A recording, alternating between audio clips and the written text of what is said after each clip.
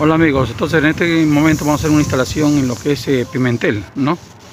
Eh, estamos viendo, ¿no? Eh, las antenas en donde yo vivo, todos tienen este tipo de antenas, mira, ¿ves?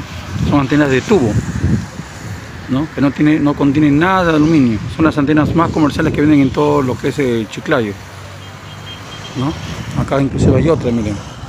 Lo que hace una persona, hacen todos.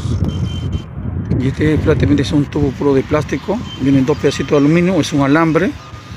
Y de frente al cable. Pues, por eso que no agarra señal. Ahí hay otra, miren. Y como no agarra señal, entonces la gente opta por el cable, ¿no?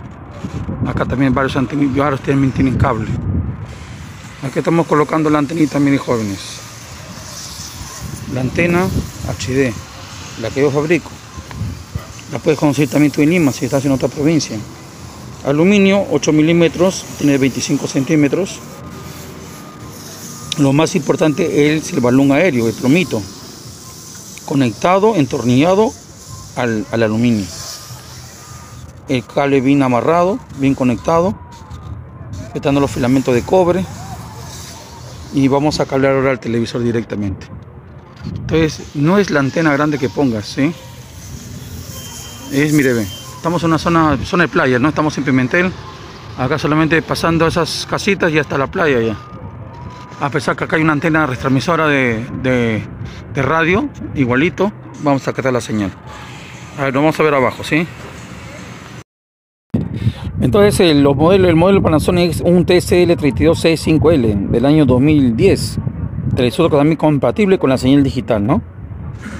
Entonces eh, prácticamente hemos colocado solamente una antena para los dos televisores. La pusimos arriba, lo cableamos, el otro televisor es un LG del 2014, también con doble entrada.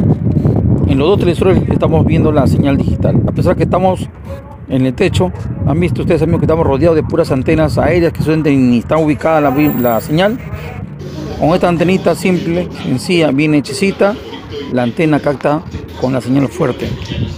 Ya saben amigos, la señal TDT es gratuita y tienes que aprovecharla. Tienes televisores antiguos, no los botes. Empiezas tú, según te compraste un decodificador aparte, un moderno, aprovecha.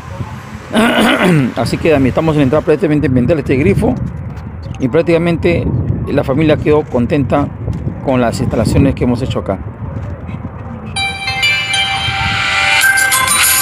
Ahí hemos colocado la antena y no se, no se mueve para nada.